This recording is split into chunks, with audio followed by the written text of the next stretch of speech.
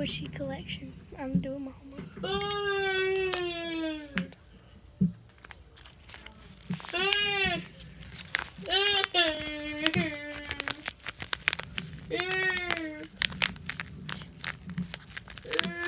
Mr. Pillow, Mrs. Pillow, kill it. Mr. Mrs. Pillow, kill it. Till it. hmm Mrs.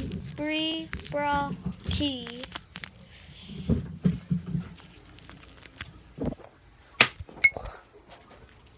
Mm.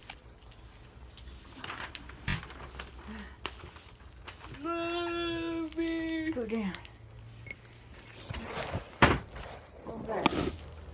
Nothing. Okay. Valleys are the low-lying areas between two mountains or hills. When rivers flow down the mountainsides and hillsides, it wears away the rocks and soil.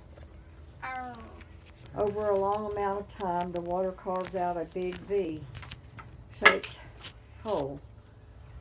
Honey, don't keep throwing stuff in the floor Um, that I have to pick up. I'm gonna eat it. I dropped it there. These holes get deeper and wider. You're not listening to a thing I say.